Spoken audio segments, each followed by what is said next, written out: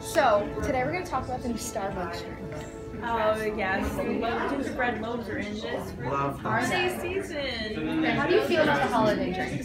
The holidays, I think the holidays are a really great season, especially at Starbucks because they're red and they have like a little leaf around them that are so pretty.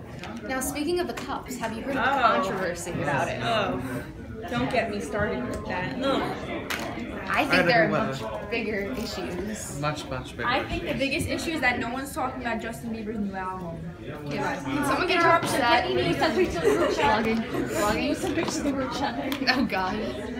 All right, and that's all for today. Yeah, I think that's good. Go buy yourself a And we're signing off Juli Nap's vlog. I'm Lauren. This is Rebecca. I'm Olivia. and have a Olivia. nice I'm Jess. All right, signing off. Bye. Bye. Bye.